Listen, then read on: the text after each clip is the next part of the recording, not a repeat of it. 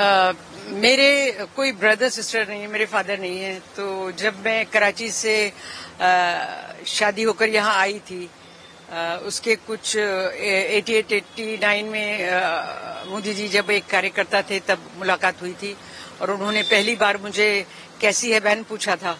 तो उनके पूछने में इतनी ताकत थी कि उस दिन से मैंने सोचा कि कितने अच्छे हैं और इन्होंने मुझे बहन कहा है तो मेरे हस्बैंड ने कहा बताया कि अभी राखी का त्यौहार आ रहा है। तो हमने कहा कि पहली राखी मैंने उनको तब बांधी थी और मुझे आ, ये बांधते हुए बड़ी खुशी हुई थी कि मोदी जी तब तो वो कार्यकर्ता थे इतने ज़्यादा लोग ना जानते नहीं थे लेकिन हर वक्त मैं दुआ करती रहती थी उनके लिए कि जितनी बार बांधी यहाँ पर वो हुए दिल्ली में, उतनी बार तो मैं यही दुआ करती थी उनके लिए कि आप गुजरात के सीएम बने। तो हमेशा मुझे कहते थे कि तुम कहाँ मुझे बदुआ देती हो? बोले, मैं तो यहाँ अपना संघ का काम मेरा अच्छा है। और इतफाक से इलेक्शन हुआ और उसमें वो जीत गए और जब मैंने पहली राखी उनको सीएम बनने के बाद बांधी तो बहुत खुश हो गए थे। उनको वो बात याद थी और उन्होंने ये ये मुझे कहा कि तुम्हारी दुआ कबूल हो गई। मैंने कहा, जी भैया मैं आपके लिए अब दुआ करती हूँ कि आप हिंदुस्तान के पीएम बने।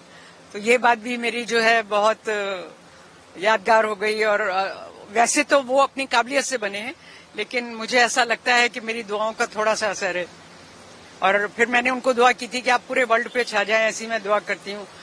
और अब उसके बाद मैंने दुआ की थी कि उनको नोबेल प्राइज भी मिले।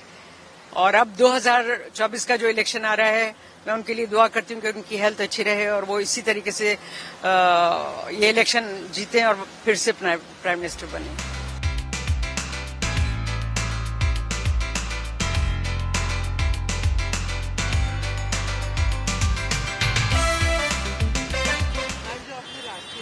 जी